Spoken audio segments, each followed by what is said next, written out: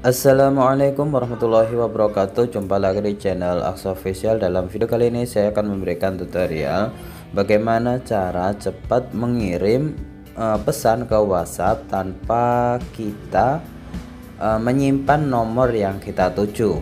Karena WhatsApp ini adalah suatu kebutuhan yang tidak bisa terelakkan ya.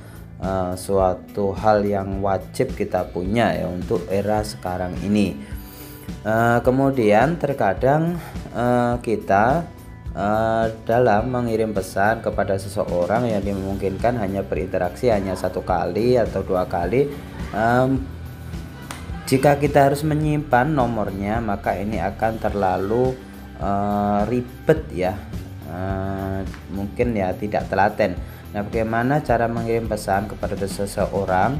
Ini tanpa kita menyimpan nomor uh, nya. Nah, tanpa kita menyimpan nomornya. Bagaimana caranya? Ini uh, pertama eh, teman-teman buka Playstore kemudian uh, pilih uh, atau ketik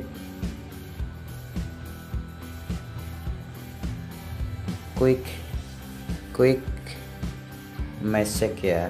Nih pilih yang ini ya teman-teman ya.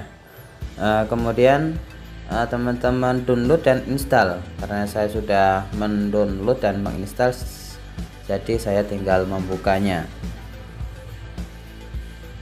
Oke nah ini adalah uh, tampilan dari aplikasi quick message ya atau uh, pesan cepat ya.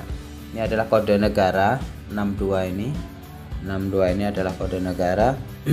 Selanjutnya uh, kode negara kita ini sudah benar ini 62 uh, eh, selanjutnya kita tulis nomor tujuan.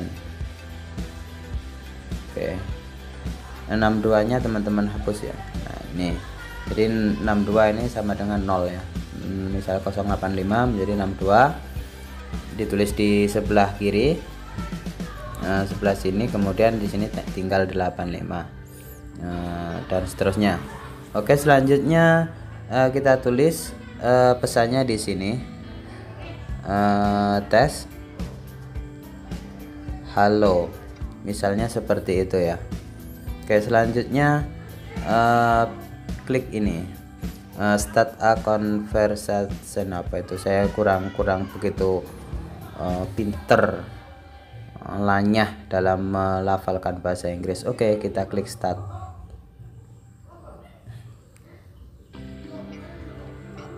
ada iklan kita tutup. Nah benar kan? Kita langsung dibawa ke sini.